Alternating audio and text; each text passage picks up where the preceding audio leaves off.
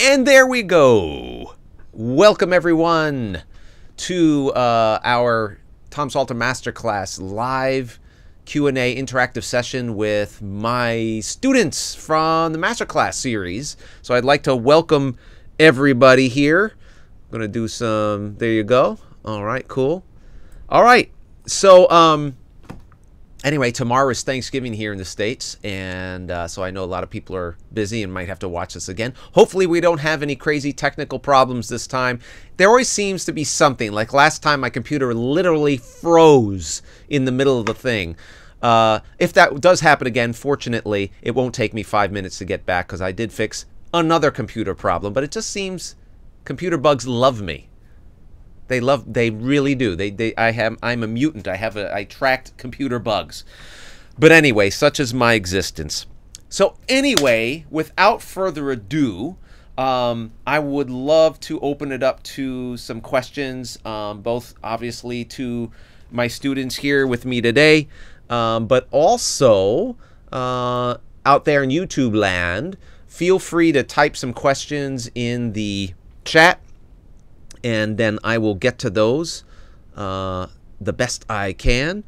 All right. So um, anyway, we have here today we have Chris, Greg, Juan, Ken, and Landon, and there might be some other people coming in later. But welcome to all of you.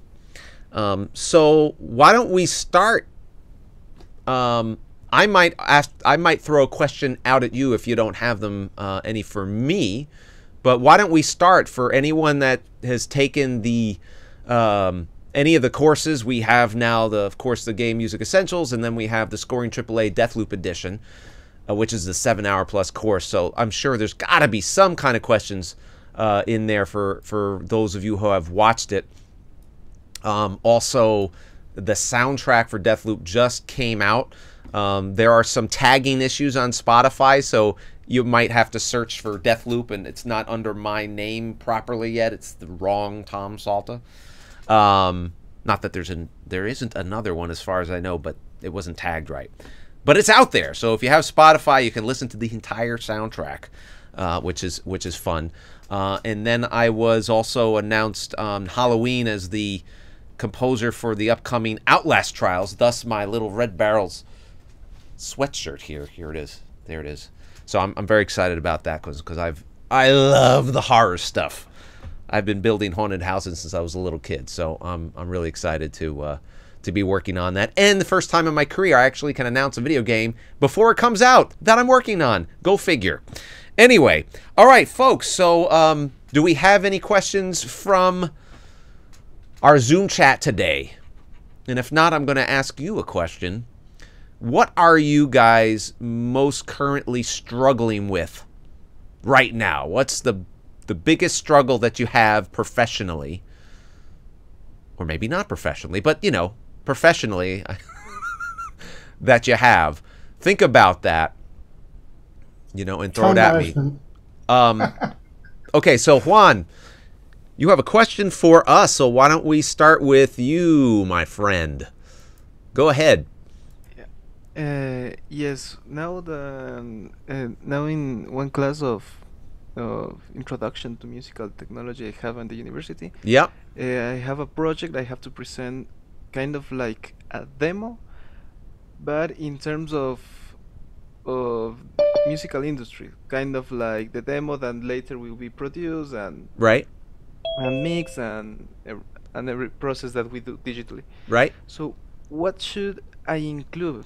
Because the, the theme is video games. The theme is a, a a battle stage, a battle, sorry, a battle scene with four stages of a boss.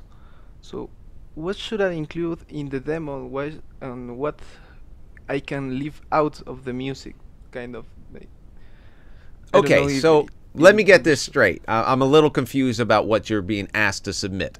It mm-hmm. you're being asked to submit a demo to existing video footage, or no video footage, just music to a imaginary no video footage. No video footage. Okay.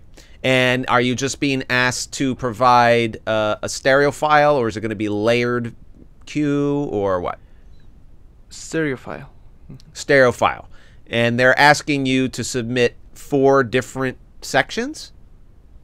Yes, like uh, four different stages or arrangements for a battle of four stages. Four stages. Okay. So any other on any other descriptions in there that they're giving you? Because i'm wondering why what your question is. In other words are they not what aren't they telling you? For what aren't they telling me is well, for example should i include uh, uh,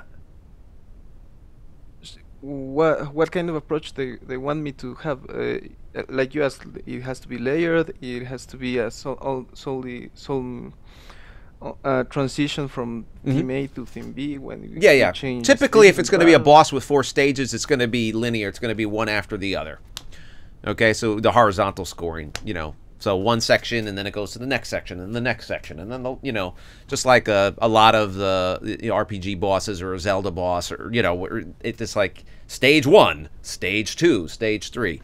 Okay so um, that part is pretty i think that's pretty clear. What else don't you understand about what they're asking you? They ask they asked me to give a demo, so the for for example that uh, they told me that I don't have to uh, I don't have to mix it before I present it. They want just kind of a rough demo, and I don't actually know what is necessary in a rough demo and what can I leave out of it. Okay, and this is this a pitch? No, it's for uh, it's it's for a class at university. Oh, it's a That's class. the- okay, that's the good part.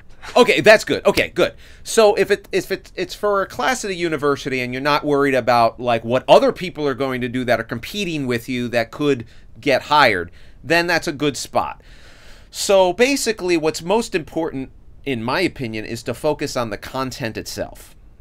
Don't waste time with all the bells and whistles and the production and the polish and the mix. What you want to do is establish a strong idea. In other words, you want to to you know, it's like if you're writing a book, you know, you want the story to be good. You don't have to worry about the editor and correcting all the you know, the words or, or consolidating sentences. The same for music. You just want to focus on the story. In this case, it's the musical story. Um, you know, uh, did they indicate how long each section should be?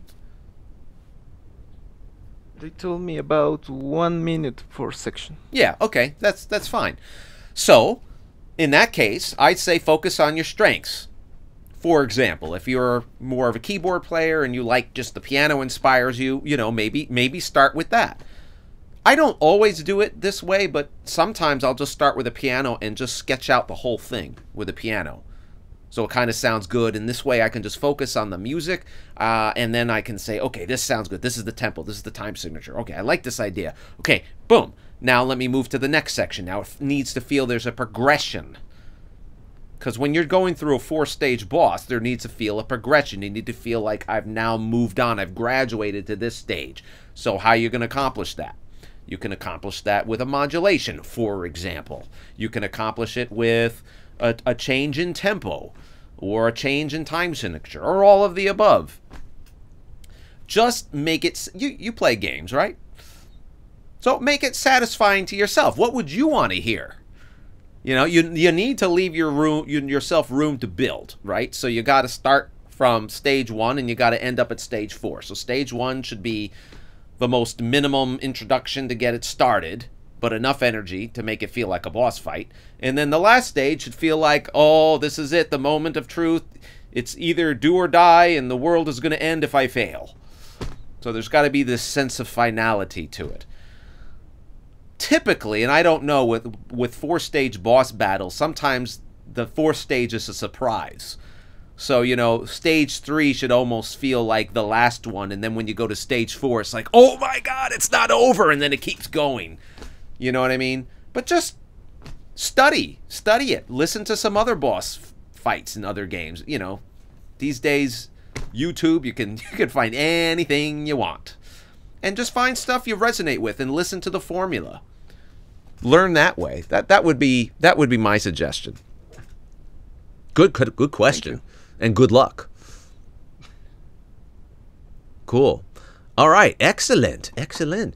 All right, so uh, next question Is it Greg? Did did I miss anyone? I thought I saw another hand, but if not, Greg, you're up. Oh, great. Okay. So um, I have a question. Um, in in the AAA scoring for Deathloop Yeah. uh, course, um, I was just looking at you go through the rundown of all the instruments, and I just I couldn't help but see that you consistently had. It's sort of a technical question about like what you're using. Just- Sure. uh, you consistently had like um, maybe it was in the bus on on Logic. It was the UAD and Ozone, and then something else. And I was wondering if you could share what those are. If those. If Oh, okay. Well, if you saw if you saw ozone, then that means you were looking at the master bus. Okay. Okay. Yeah. Yeah. All right. So, you know, as most of you know, Ozone is one of those uh, all-in-one, you know, mastering tools where it has built-in, you know, limiting and exciter and EQ and compressor and you know, imager and all these modules that you can that you would typically put on a final master bus to make it sound polished and loud and you know all the good stuff the final the final mastering pass um, so that that's what you were looking at uh, it, is your question what is that or were you were you asking specifically what's on the master bus Yeah, just what you were using. Like I, I think I have Ozone Nine, so I'm, I, you know, I'm, I'm familiar with that. But then the UAD one, I was just curious about what that one was that you were using as well. Um, I change up a lot, so I, let's see if, if UAD. Well, okay, let's see. Is UAD? I don't know. It what ma- was it a? Uh, could you see anything other than UAD? Did it say like No, tape or something? No, it was all I could see, and then there was a third one that I couldn't make out. But Well, limiter. The the last one is always a limiter, Okay. and I don't always use the limiter in Ozone. So Okay. a lot of times I'll use something like uh, Sony Oxford limiter, but there's so many out there, and and um, you know a lot of people have different tastes and, and stuff, and it's and it's funny because my tastes change all the time. So it I don't have like a staple master bus on everything that I do. Um, you know, like for example, uh, there's another project that I did. and I was putting ozone on. I'm like, a bean, and I'm you know, first of all, ozone isn't a sound it's endless. There's a million combinations and things. But I typically kind of know how to dial in what I like if I need it. And some of my projects I'll put ozone on and I'm like, you know, it's not really helping. I don't really need it. So I'll take it off. Um, but there's usually some things that I'll put on the master bus. Um, but always the last one is a limiter. And it's not believe it or not, it's all, not always just for limiting. So, you know, sometimes it limits very little. In fact, normally my limiter doesn't do much limiting at all. Um, never more than 3 dB, that's for sure. But um, but sometimes it's just there for safety, just to make sure that I don't clip. Gotcha. You know what I mean? Okay. It's also and it's a nice convenient way that if I wanted for any particular reason I didn't want to go exactly to zero, I wanted to just go right under zero, I can just do that and make sure. So it just is a way to make sure it le- levels things and it doesn't go above. Great. Okay. But I would encourage you to have a lot of fun and explore, uh, you know, master bus stuff. Um, Yeah, I'm using MasterDesk. Uh, is that the BX thing? I, I think yeah, I've heard about that. I, I haven't used it myself, but I have heard about it. all in one. Yeah, it it's, seems pretty good. I, I like it. Yep, that's very cool. Heard people say Um, about it too. All right. Excellent. Excellent. So we have another uh, question. Juan, you you, is that your new question or your hand is still up from before?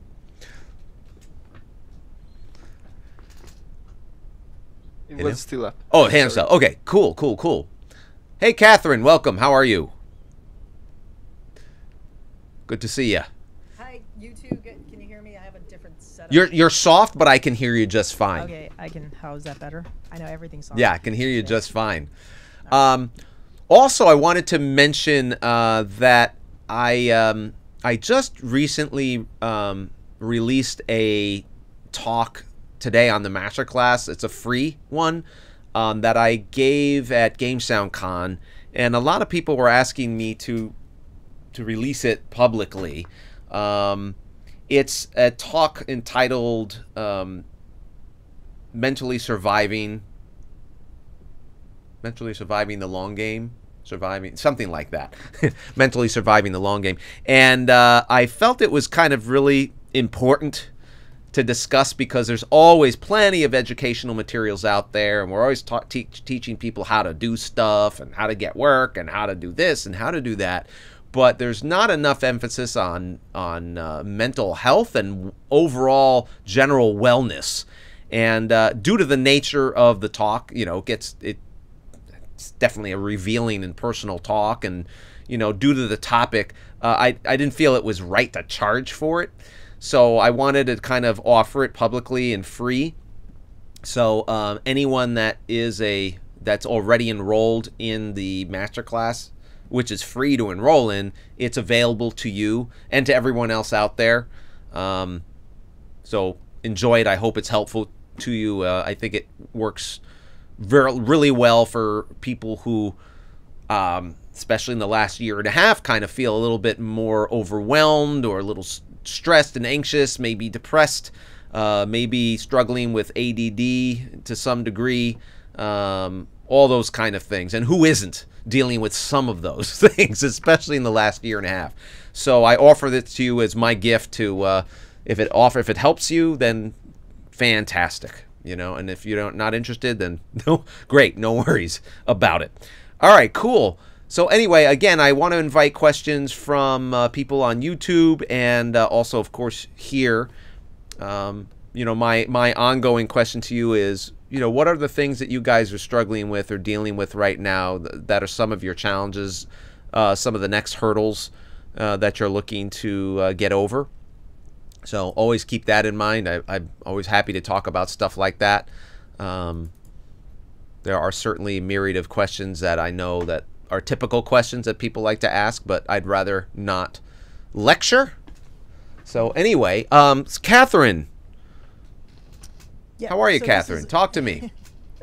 I just got out of a four and a half hour ride, so Oh my gosh. anyway, I wanted to make sure I got in here. So um, d- just quick, I just started the the Deathloop class, Deathloop Awesome. Scoring Edition, which is great. And um, so kind of beginning of the process, but I just wanted to more maybe a comment. It's like I really enjoyed seeing your process, like of how you were coming up with all those after you did your research and tossing down ideas.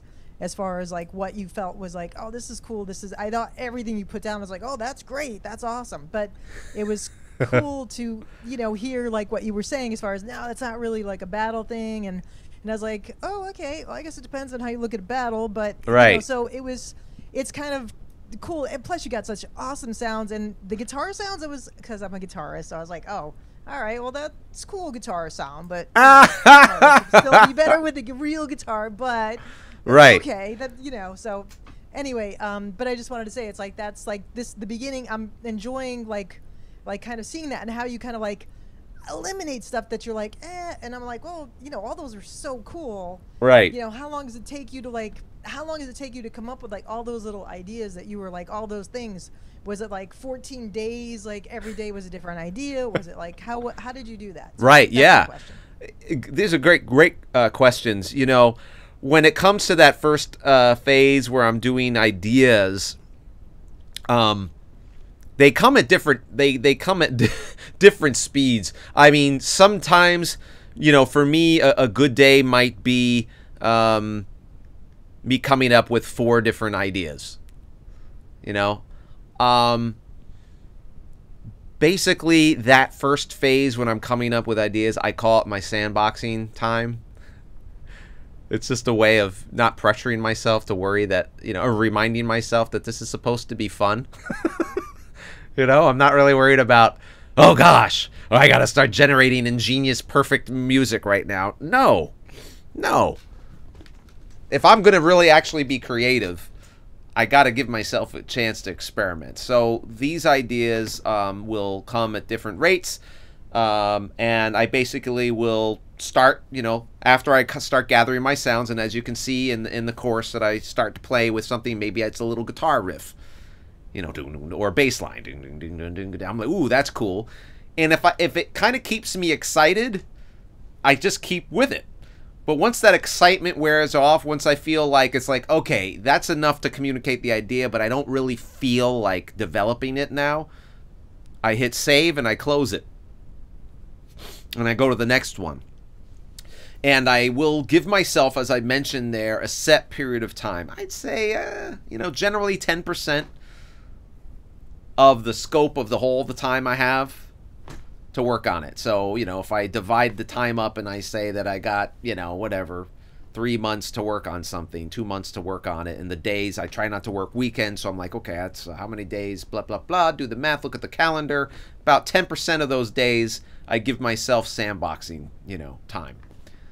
And uh, I find it works really well because inevitably there's going to be some cool little ideas in there.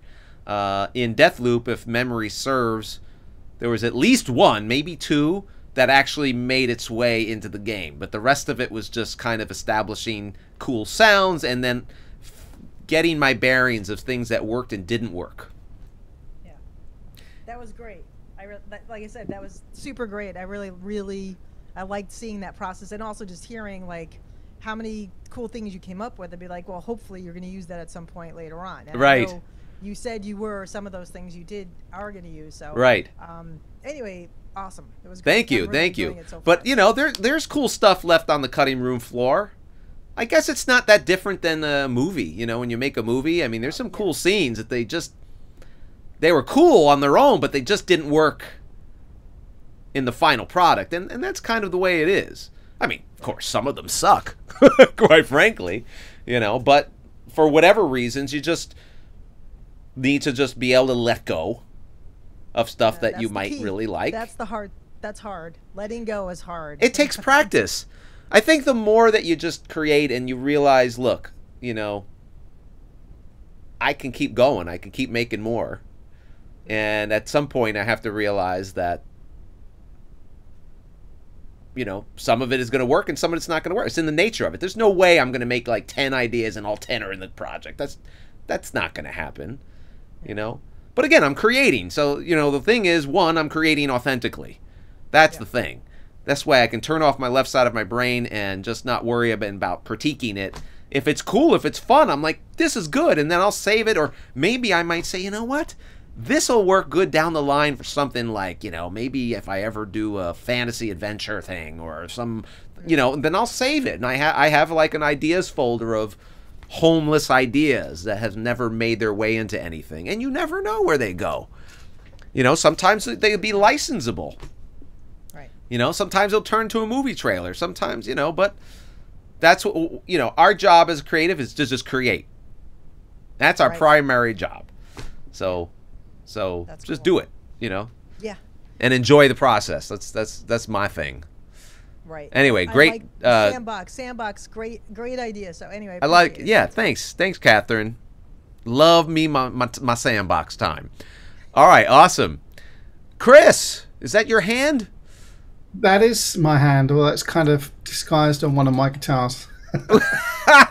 What is your question, my friend?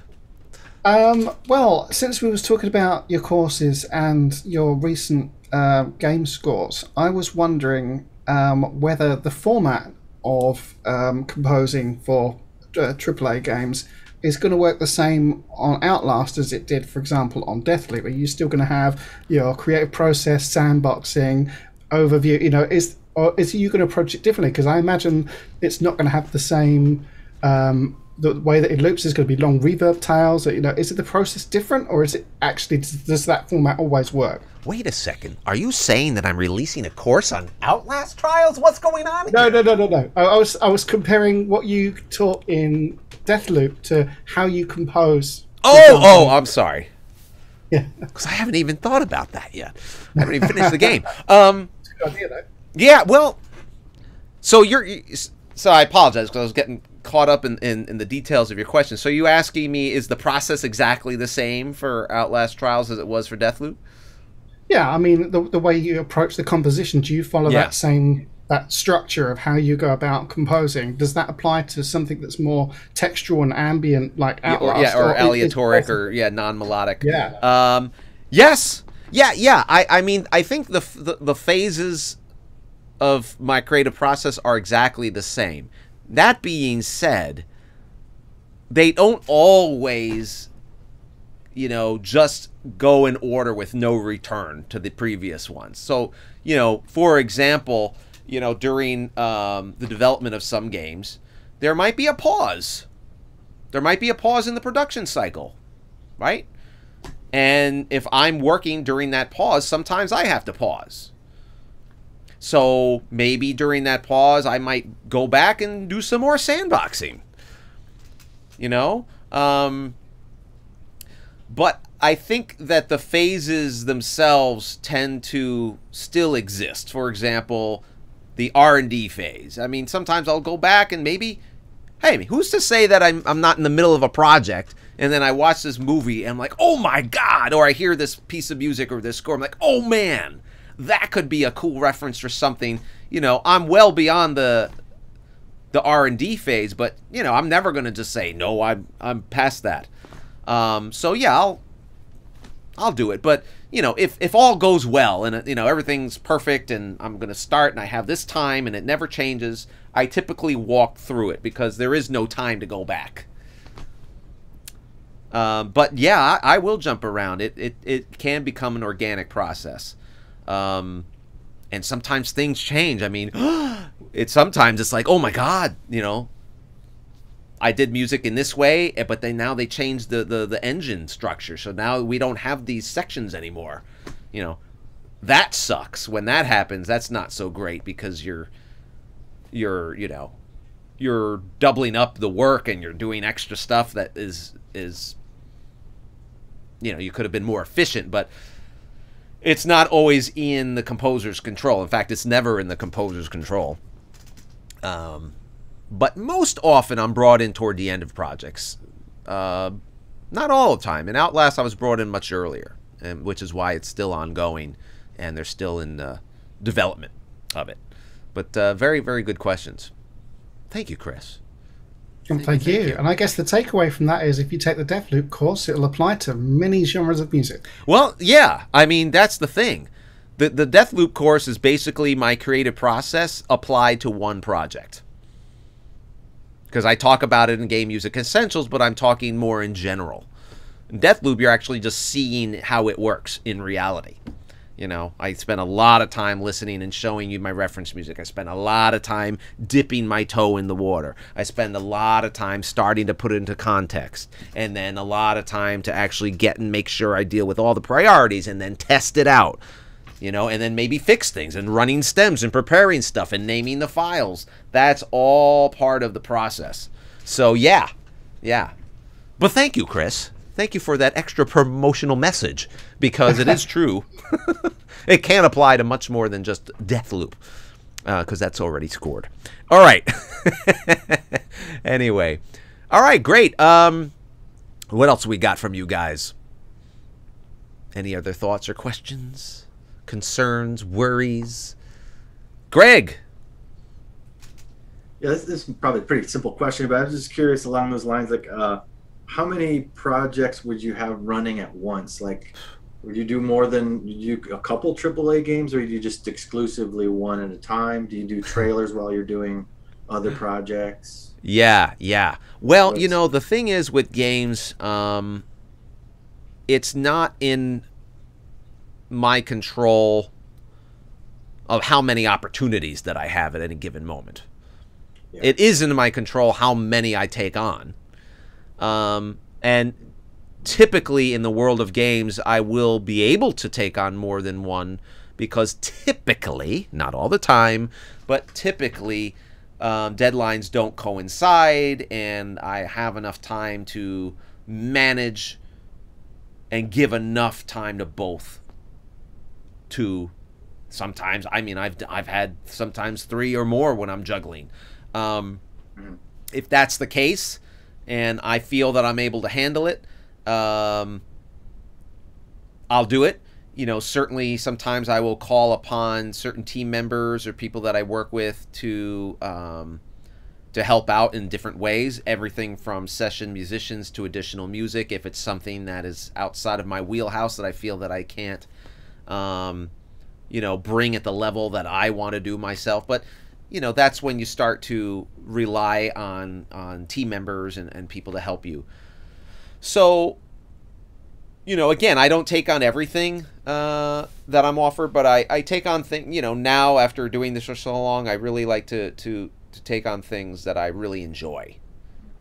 That I really enjoy and that I feel I can really deliver what I want to be able to do on it. Yeah. And I can't, you know, I can't control how many projects. I mean, it's kind of nice when there's, you know, one at a time. It's kind of nice because it does give me other time to do my my other projects, my, you know, let's say my personal projects, my my album material, songwriting, trailers, things like that. Um, but uh, it, it seldomly all pieces together ex- exactly perfectly. You know, sometimes it's like when it rains, it pours. It's like I might have a slow period, and then it's like, oh, crazy, crazy. Like, why couldn't this just all be spread out over the year? But you know, welcome to entertainment, right? That's that's not the way it works. Yeah, yeah. You know. So uh, anyway, um, Great. Yeah. Cool. Thank you. Good. Good question. Excellent. All right. Uh, let's see. Oh, Landon. Good. You have a question for us today. What's going on, my friend? Yeah, I mean, I guess just following on to what Greg said, like, do you have a kind of tried and true method of like, like if you've got three projects going on at a time and it's, you know, overwhelming in some ways, do you have like a tried and true method of like dividing those things up in your head and like, you know, like from like, I don't know, say two to three or something, I'm going to work on this Mhm. project. And then from three to four, I'm going to work on this project. Like, Yes, Do you have like a good method to do that? I do. In fact, I talked. I actually talk about that method in uh, in the mental survival course, uh, and it has everything to do with planning stuff ahead of time. Uh, and when I mean plan, I mean put it on a calendar. So I live by my calendar. So you know, typically we all look at whether it's a Google Calendar or a Mac calendar, and you see, you know, you see Monday through Friday generally, and you see all those little, you know, blocks of time, right? Not surprisingly, not everybody uses that effectively. So um, I have my calendar, and ideally, uh, what I will do is I schedule everything the day before. Okay, so how does this relate to your question? Well, I have two months and two projects. And I need to deliver, let's just say they're both on the same date. And I know that I need a certain amount of time and I got to, you know, manage my time. So what I will do is I will say, hey, today, you know, or tomorrow, or this week, or Monday, Tuesday, I'll just block out my week you know, I need three hours a day on this one. I need three hours a day on that one. Maybe I can jump back and forth. Maybe I can do one in the morning, one in the afternoon. Maybe I don't want to do that. Maybe I feel like I want to push through and just have uninterrupted focus creatively on one thing. Um, so I'll block it out Monday, and then I'll do it Tuesday. And when I, when you do this, you're making a roadmap for success. You're actually seeing how it can be done, and you stick to it. So I'm a slave to my schedule, a voluntary slave to my schedule because I need structure. And I find that it does help with anxiety and feeling overwhelmed because when you can see it, you can control it. When you can plan it, you can control it. And if you need more time to do something, you can put that in there too. You know, and then you can you might say, "Hey, you know what? Oh man, I'm overbooked." You know, or I can't I can't handle um or maybe you know what? I can't do this event. Or i can't volunteer at this thing. Or i can't you know? But i i, I schedule my lunch times. I mean not that i not that i forget to eat lunch although my wife says i do uh, forget to eat lunch. Uh, but um, i will schedule my uh, I, excuse me i will schedule my lunchtime um, landon clap for me a second so your speaker view comes back. Just make some sound for a minute because i have to trick um, Hello, hello. there you go. Perfect. Yeah, so um I schedule everything and I also schedule my phone calls. Um, I, I don't generally just impromptuly answer the phone unless it's emergency or you know family member something like that. Um, just because I can't constantly get pulled out of that focus because every time you get pulled out it takes it takes an average of 20 minutes to get back into the flow again scientists actually agree with that number. And I find it to be true myself. So the more you can schedule in advance and be disciplined to stick to that schedule, the better. And what it also helps is you maintain this sense of balance because you can say, I'm going to stop working at six. You know, I'm not going to work until the moment I pass out and go to bed because if you do that, you're going to be burnt out. Yes, you can do it a lot more at, at a younger age. Okay? When you're in your 20s, you can do that, maybe, for a while. But I'm finding that even 20 year olds are getting burnt out and, and anxiety. In fact, yeah, it's true. I mean, college kids, come on. There's so many college kids that are on freaking medication. You know, because they have they can't deal with the focus. They, they, they have ADD and this and that and blah blah blah blah blah blah. So there's a lot of tools, and that's why I would encourage you to check out that mental health talk. It's it's freely available to anybody. I just I put it on the platform, so anyone that registers for free on the masterclass site, uh, feel free to check it out. Um, it's it's the most deeply personal talk I've ever shared. So, uh, but I, I, think it'll be good. I think it, will help out. But yeah, definitely have those yeah. tools. Thank good, you. Good, important question. Excellent. Uh, all right. Good. We're getting some good stuff here today. So what else shall we? So what shall we talk about? Who can name that movie? What shall we? What shall we talk about? Anyone know that movie? Raise your hand. No. Greg, what is it? Uh, you know? That's Toht. He's the Gestapo guy from uh, what's it called? Uh, Raiders of the Lost. Yes, that's correct. the, the scene. Like that's right. He pulls out the hot poker. So, yeah. what? Oh, shall, that's the one. That's what the shall one, we yeah. talk about?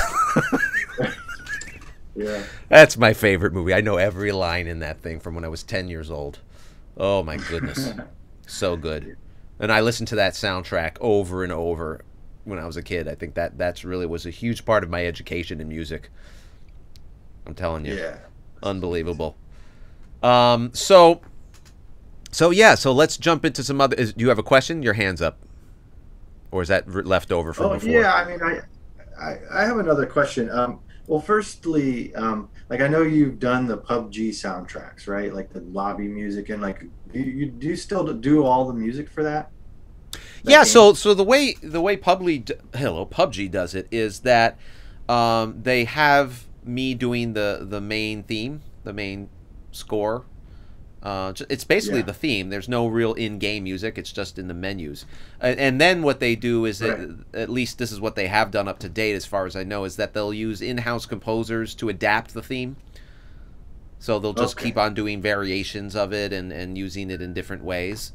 Uh, and uh, I am I'm not I don't do that. They use in-house composers for that because they have them. Why not? Ah. Uh, but they they uh, they came to me for the actual theme itself, the main theme, which um, I don't know if it's still the heard in its partial or entirety in the in the menu for the mobile game. I think they had it in the mobile game more often. But it's funny in the game they actually don't play the entire theme. They just play right. they just play the first part of it, which is the more less actiony part. But then there's this whole second part which is actiony. Uh, and if you want to hear it, it's on Spotify. That's the actual full theme of it. It's cool because it goes da da da da. You know, it goes into this whole big thing. And um, a little other question here in regards to like sound design. I don't know if this is really sort of too general or whatever, vague. Yeah, sure. But like, let's say like if you're so you're doing like a more like a horror game, I would assume there's probably more sound designy, eerie sounding things in doing that, how under the hood do you get with sound design? Because nowadays there's so much pre-made things, but you can totally start from scratch and create yes. all your own sounds.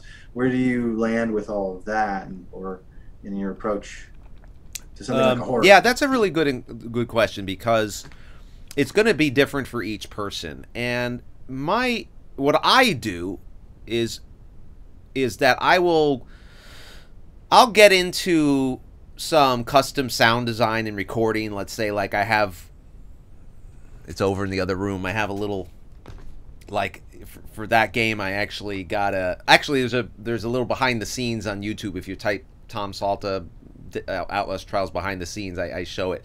But I, I I found on eBay like this little toy from the 1950s that had like it's like a wooden toy with a xylophone with a little dog, Oh, you know, and you pull string, and it's so old. I mean, my kids get scared. I'm like, what's wrong with you? I mean, they've watched way too many horror movies, but it's a little cute little dog.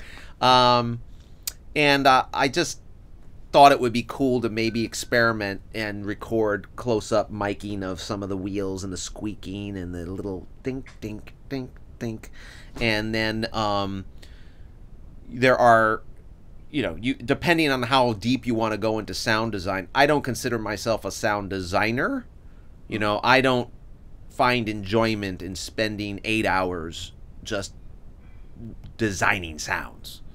But I did find enjoyment spending 20 minutes and like putting it into some granular synthesis and and you know putting all these crazy reverb or echoey and and ring modulations and stings and stuff. And um you know depending on the tools you have at your disposal. I mean you you can do a lot of that in omnisphere believe it or not.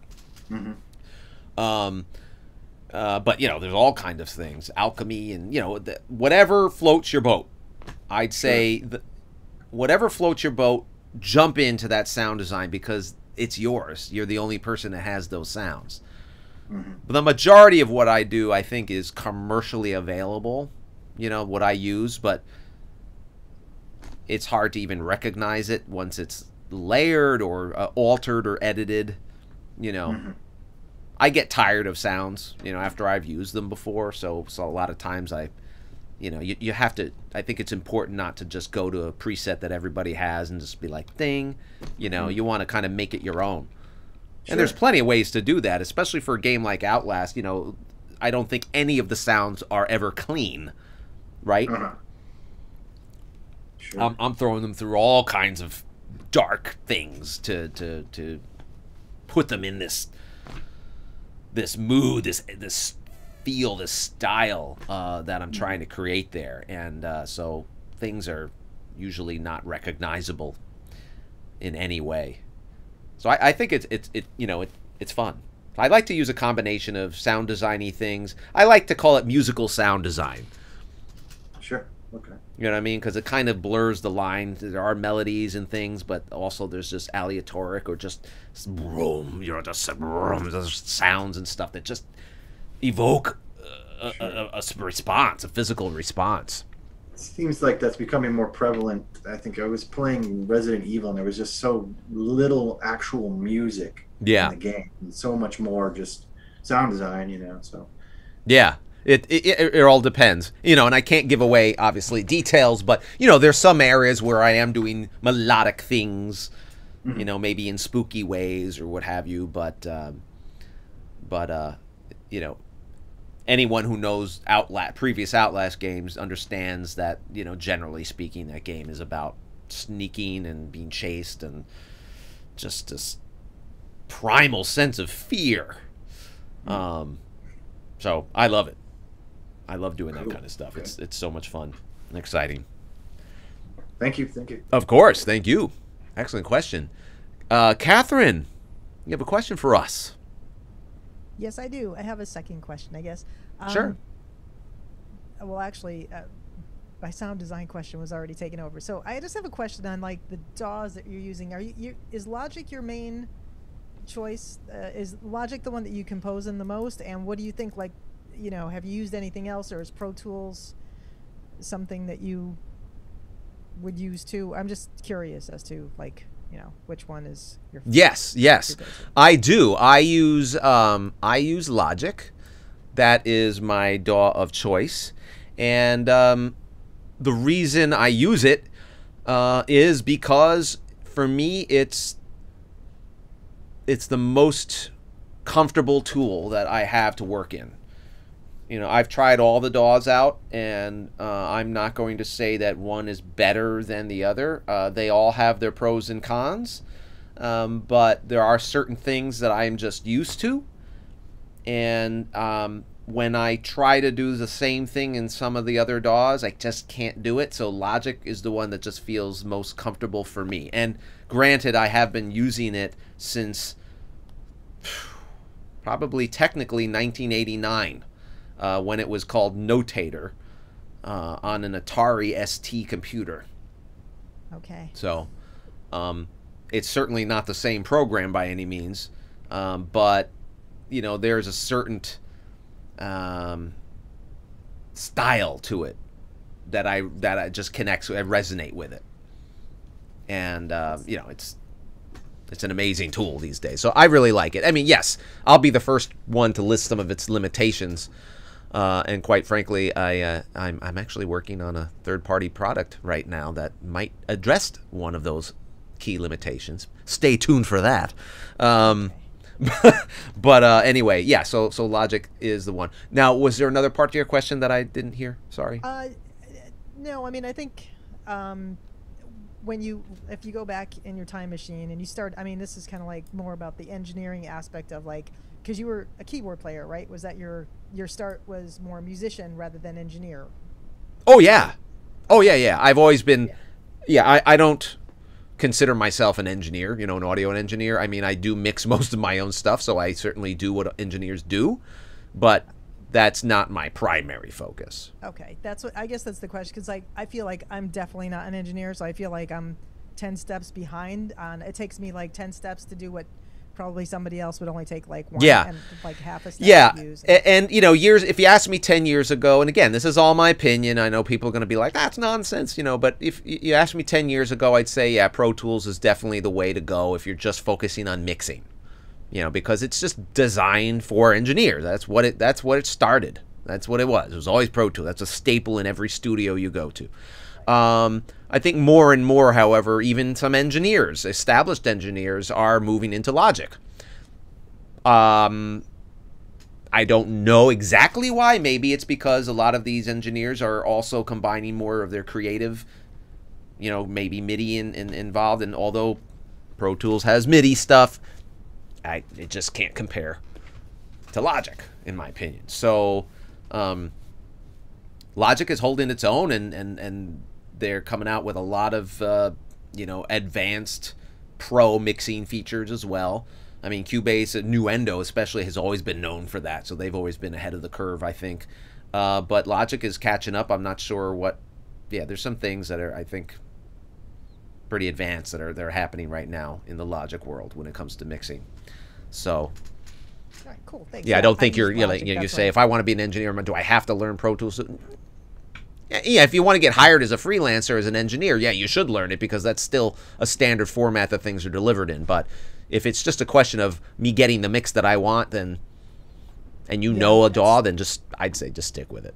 That's yeah. That's that was my question because I know I'm getting slight pressure to learn Pro Tools, and I'm like, but I really like Logic, and I'm really not an engineer, so I just you know was curious. Yeah, yeah. I mean, when when you can mix pretty much anything you need to mix, I think in in Logic. I mean, again, I'm speaking from my own experience. I mean, if you're doing something with a thousand tracks and you you have it synced up to a huge, you know, crazy SSL or Neve console with automate, maybe you know. Pro Tools, it's all set up that way. You should learn it. But if we're talking about, you know, project, studio, personal work, I just want to mix my album or this project or this score. You don't have to export it into Pro Tools to get a better product. Those days Yeah, are gone. yeah. Good, thank you. That's my my opinion. I'm going to tell them that too when I. when I Tell them Tom Salta said that. When I'm This like way. when I'm not learning Pro Tools. Right, exactly. Oh my goodness. Cool. Good good questions. All right. So uh anyway, Chris, do you have another question for us, Chris? I do, but it's not from me. Um, Adrian couldn't be here today because he's moving, but he's got a question in YouTube. And Sure. I thought, uh, either I can read that out to you, or I don't know if you've got it open at the moment. Uh I will uh let's see, let me read it. Sure. To bigger than the previous. Any advice on how to treat the room properly in order not uh, uh, to not lose mixing quality in my tracks? How important is that? Um, well, the last question is how important is that? I'd say it's really important, Adrian. Um, it's really important because you need to know what's in the music. You need to know what you're hearing Okay, so that doesn't mean you need twenty thousand dollars speakers. What it, all it means is you need to know that what is coming through your speakers, or at least what you interpret, is accurate. You need to know the amount of bass that is really in something. You need to know the mid range and the highs and the frequencies. You need to know if it's too hissy or essy or sibilant or you know all those other things. You need to understand. Um, I've learned through many years of experience that at this point, when I go into a mastering studio, the rare times that I actually go into a mastering studio or even into my car with a really good sound system, I'm not surprised of what I'm hearing, which is great. That's the point. Okay, so that's the last question. How to treat the room properly in order to not lose mixing quality in my tracks. Okay. How to treat a room properly? Well, some might say, well, go hire an acoustic engineer or go hire, you know, someone that does the room treatments. Not all of us have the money to do that. Um, I've just been doing it myself for so long that I still do it myself. You know, maybe if I went into a commercial space and I had this like warehouse, I'm like, you know, then I'd have someone coming in. But generally speaking, be, I'll design it in my house in some way. I have my, you know, dedicated studio attached to my house um, above my garage, and it's a nice room. And I built the uh, my friends.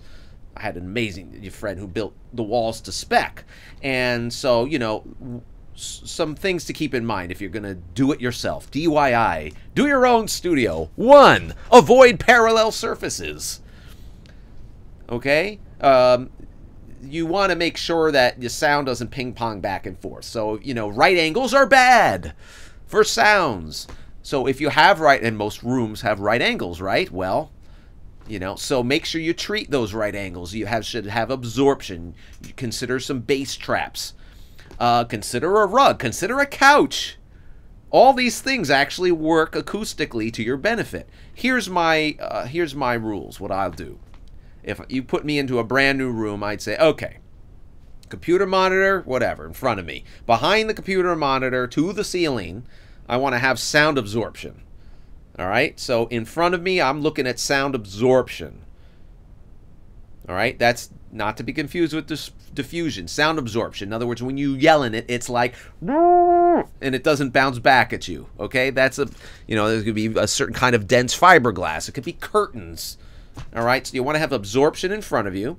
You want to have absorption left and right, and you want to have absorption up and maybe maybe you know a rug down and maybe not no i don't have a hard and fast rule to that i use my ears uh, behind you you want to have um, some diffusion okay so above my camera let me just do this quickly sorry for the close-up folks but if i look up here check this out see in the back there all right. So that those are my diffusers. I'm trying to get this back. And um, I use those are like inexpensive diffusers. Those are basically I got them from Auralex and I painted them myself with like textured spray paint.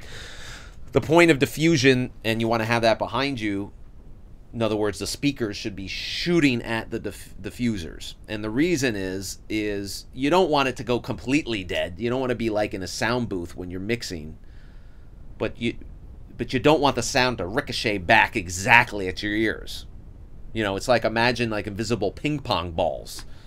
If it's going to hit your speaker, bounce and then come back and hit you in the head or hit you in the ear or hit over there and then bounce back, you want to avoid that kind of stuff.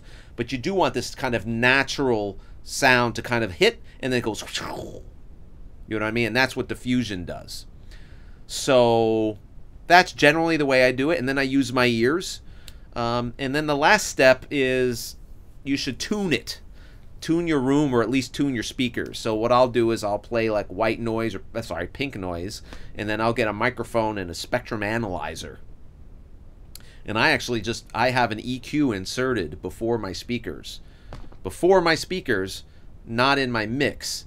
And what I'll do is I'll notch out any resonant frequencies, things that are kind of like um, Um, T shape for Tom. You caught it. Uh, yeah. So basically, I'll notch out any bumps where I see some bumps, and I'll just kind of do it. And your goal is when you play pink noise and you listen and you put a microphone right where your head is, it should be a flat line. But the most important thing, and the last thing I'll say for today, is you want to know what you're hearing. And one way to do that is to play music you're familiar with and calibrate to your ears. So basically say, okay, I know this song. I know the way it sounds. You know, and experienced engineers will do that all the time. You know, they, they go into a new studio or they'll go into, let's say, a live engineer. Live engineers do this all the time. When I was touring many years ago and stuff, you know, the house engineer, he'd play the same music every time he, this whole system would be set up and he'd play the same tracks. I, mean, I hear it every, day after day for two months. I'm like, I'm sick of the same song. But he's doing that because he knows the song and he knows how to EQ it so that it's coming through the speakers in a way that makes sense.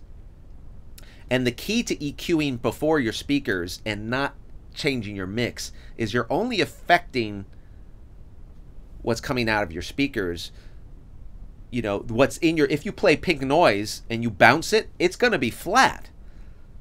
But if I play through my speakers, it might not be flat. So what you want to make sure is you, you just kind of want to normalize the room so it represents what reality is. So that's why, you know, I laugh when people say, "Oh, I got $20,000 monitors." Good for you, but that doesn't make your mix sound any better cuz the person listening isn't listening to $20,000 speakers. So you can use bookshelf speakers and if you know what you're hearing, your mix will sound every bit as good as someone else's with $20,000 speakers. You know, the 80 that's why NS10s were so famous. Bob Clearmountain used them in the 80s. They weren't they're like $200 speakers. You know, who knows or less. They're just a little bookshelf, but he know he knows that if it sounds good here, I know what I'm hearing, it'll sound good anywhere else. So every record you've ever heard mixed in the 80s is on NS10s. Any case, and there we have it. All right. So, uh, time. Wow. Gosh, time is flying when you're having fun. So, that's all the time we have today. Let's see. What are the special announcements? Uh, we do this every month, so please come back again. Uh, the next one is going to be December. Uh, what is it? December 20. 22nd. 22nd. Yeah, same time. Um, also, again, we I just released a free um, mental health uh, talk that you can get uh, by just signing up in, uh, for free at my uh, masterclass website. Uh, and also, we have a lot of Black Friday things going uh, on sale right now. So if you missed the pre-release sales or you missed GameSoundCon sales or some of the other ones, um, there are a lot of things running right now. In fact, let me see if this works. Oh, yay! Good, I got it to work. Check this out. Um, so here are some of the sales that we have going on right now. If you if you haven't purchased any of these things, uh, these are the codes. So they're they are all here, um, and I will be putting this stuff on social media. But today's the first day that it's actually active before Black Friday, so you can check these out. Um, we also a cool new addition is that um, I know that you know some like Deathloop. It's not the cheapest thing in the world even it's just, even though it's worth it. There's seven hours plus of content. It's not that cheap, uh, and uh, so if you're looking for a way that will help you pay for it, um, there is an actual um, now monthly payment option where you can split up the payment across a few months uh, and pay for it that way. So I'll be doing that going forward to make it easier for people financially to keep the cash flow going because I know we're all musicians here. I know how it is. All right. Uh, all right, folks. So that is it for now. Thanks again for joining us. Uh, and again, this is open to anyone and everyone that has taken any of my classes. So please come back and uh, join me again next month. Bring your questions, topics to discuss, anything you want uh, in the world of music and game music and production and mixing and all that fun stuff that we love. All right, everyone. Be well. Happy Thanksgiving to those of you in the United States and uh, and our friends in Canada as well. Be well. Take care. Bye bye.